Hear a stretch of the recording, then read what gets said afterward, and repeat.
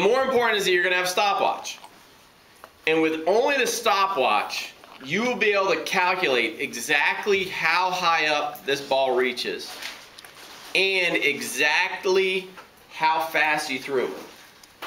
Okay, so with only a stopwatch, so with only time, there's so much we know about a ball going up and coming back down that you'll be able to calculate a whole lot of stuff. Okay? So that's what we're shooting for. The idea though is, so when a ball goes up and comes back down, right, and you kind of pop fly, does gravity ever turn off? No, no right? There's going to be a point where we're going to get caught up on that concept sometimes. People will all of a sudden think that there's no gravity. But gravity's never going to turn off, right? Right. Okay. When this ball goes in the air, what do you think you know about the peak? At the highest point, what do you think, what can you say about anything going on at the peak? The, it is the least velocity. How much? Zero. It's zero. I want you to think about it. Ball goes up and comes back down, right? An instant before, so just exactly at that peak, the velocity will be zero. An instant before it was going up, so it had a positive velocity. Okay? An instant after, it's going to be coming down, so it has a negative velocity. So the idea is if it had a positive at one point, a negative at another point, it's going to have to have a point where the velocity is zero. Now, people will get caught up and they'll think, okay, the velocity zero is not moving at all, and that's true for a tiny fraction of a second. Okay?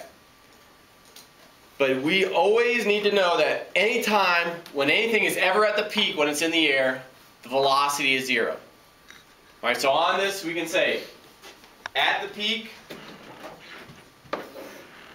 oh, no, maybe, oh, that's really ugly. Let's try that again. At the velocity, at the peak, the velocity will always, always, always be zero. Okay, an instant before it's going up, an instant after it's going back down. So it's going to be, there's going to have to be an instant in time where it's essentially not moving. Okay?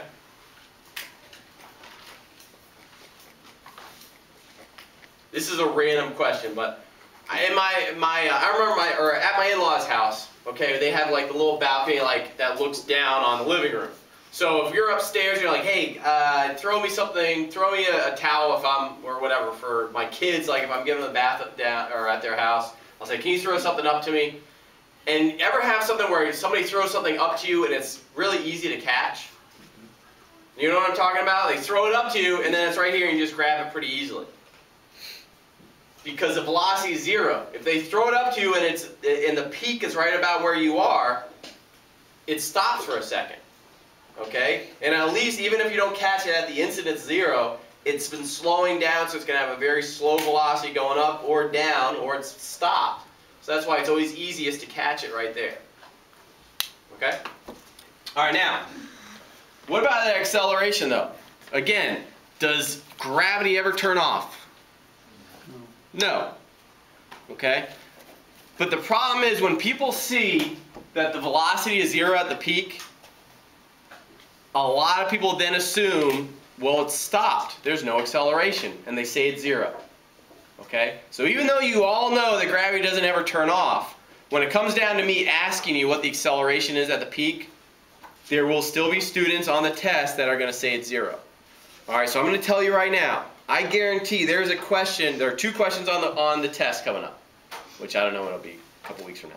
Okay, one question will be what's the velocity of the peak? And most of you will easily get that right and say it's zero. Okay?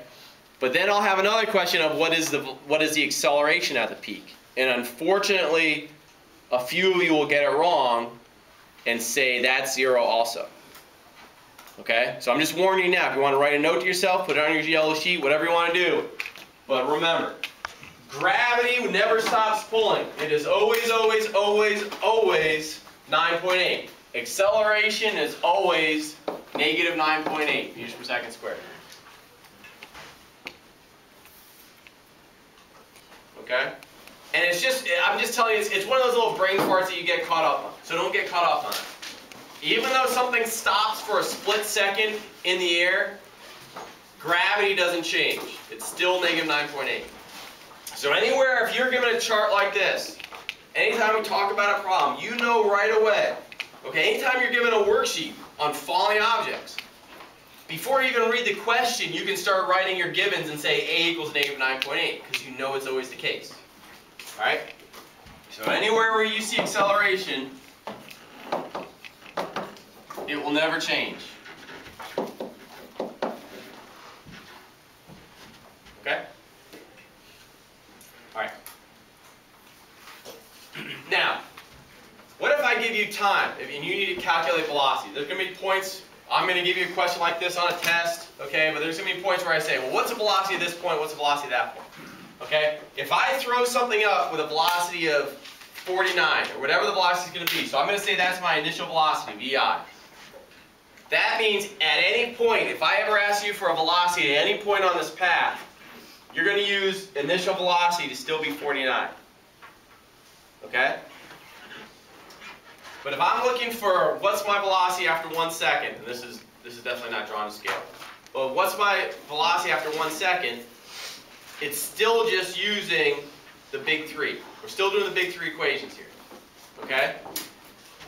My initial velocity, so I have my list of givens. I have VI equals 49. Okay? I have acceleration equals negative 9.8. Okay, I have t equal 1. And I'm asking for VF. So as always, I'd ask myself the two, two questions to figure out which equation to use. One, do I see time on my list of givens? Do I see time on my list of givens? Yes. Yes. So the middle equation won't be used. Two, do I have xf slash d in my list of givens? No. No. So the big ugly won't be used, right? The only one left is the first one. All right, on your own. If you got a calculator in front of you, if you don't, grab one. Um, go ahead and calculate after one second what the time would be. And Laura will lead the way where the calculators are. Thank you, Laura. Again, so remember, acceleration is negative 9.8 meters per second squared. When I talk, when I teach my active physics kids, I would say, you know, you can think of an acceleration as of that gravity as after every second, you're basically subtracting 9.8. Okay, so whatever your velocity is, whatever it is, the next second will be whatever it was before, and just subtract 9.8. And so this you could do without actually doing the math, without doing the, the big three equations, right? You just say, oh, I'm going to subtract 9.8. 49 minus 9.8, you get 39.2. But obviously that gets harder when we have a time of like 1.5 seconds or something else. Um, so you realize we're still using the big three. Okay, we're just saying acceleration is negative 9.8. We're still using the big three. All right. What about if we want to figure out the time at the peak? Okay, so if I need to figure out, let's say I need to figure out time now. I want to know, I throw the ball up with a certain velocity, how long does it take to go to the peak? Okay, so I'm still, I still have an initial velocity of 49. Whoops, 49. I still have my acceleration of negative 9.8. Okay?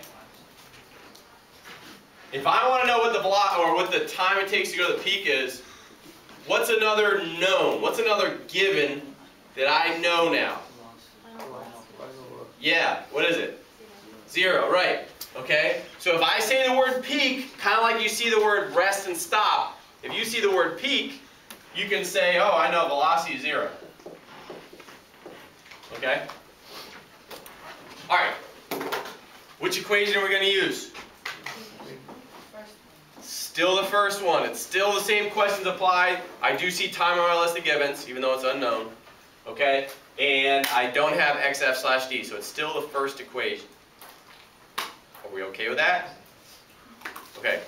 Go ahead and take a couple minutes now, figure out how long does it take to reach the peak. Again, I just want to see, again, we're still doing the big three equations, but there's so much information we know. When something goes up, and comes back down because we know at the peak the velocity is going to be zero. Okay? Now also understand that everything is going to be symmetrical the whole way through. Okay? If I throw a ball up at 49 meters per second, when it comes back down to my hand, it will be going 49 meters per second down. Okay? The morbid example I have of this is when I, I remember the first time hearing about it was when after the first Gulf War, okay, Kuwait was invaded by the Iraqis. The Iraqis get pushed out. The Kuwaitis celebrate by shooting their guns up into the air. Okay, the problem is when those bullets come back down, they're going with the same exact velocity they went up with. Okay, so then people down miles away were getting killed by these stray bullets falling through roofs. Okay, now that's it's not just in the Middle East. There's there's always stories about in the U.S. Fourth of July, woo! I'm gonna shoot my gun in the air. Okay, and then a few miles down the road, somebody's getting killed with a stray bullet. Okay, so I know that's a morbid example, but the idea is anything leaving, anything going up with a velocity, when it comes back down to that same height, it's going to have the same exact velocity but negative. Okay?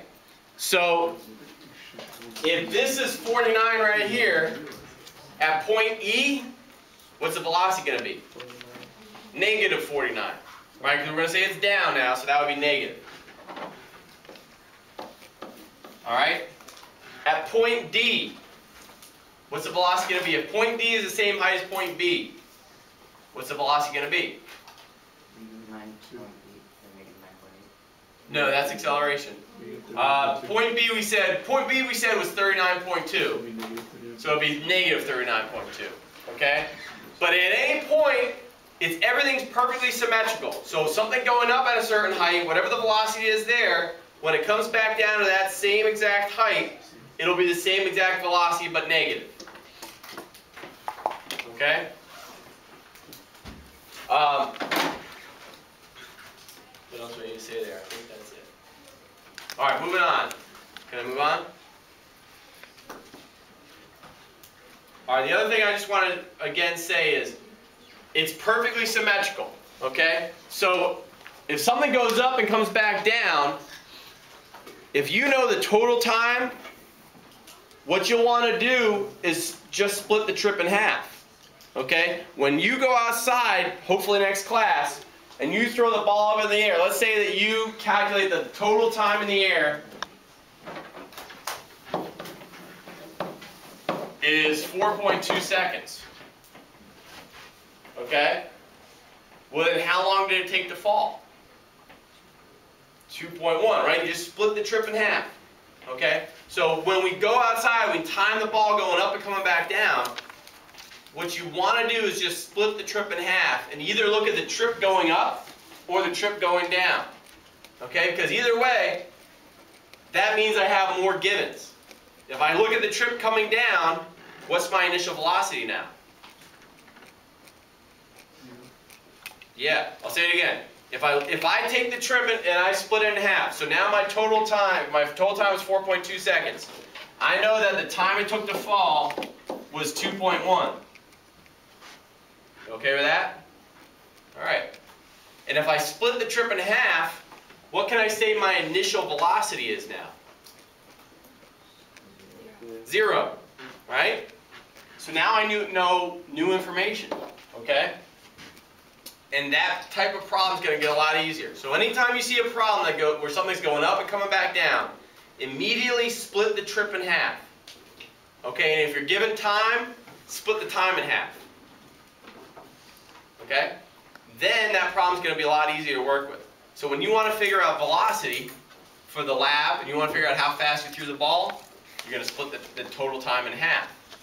Okay, same with distance. When you want to, if I want to know how far, how high up it is, that's the same as saying how far down does it fall. So I'll split the, split the time in half and I'll be able to get that answer. Okay? Okay. Um, we're going to get the computers in the back. You can hop on those. All of them have the printer set up. Mr. Lamb, I might, we're going to get on front on, on those. I'm also going to print the worksheets out for you.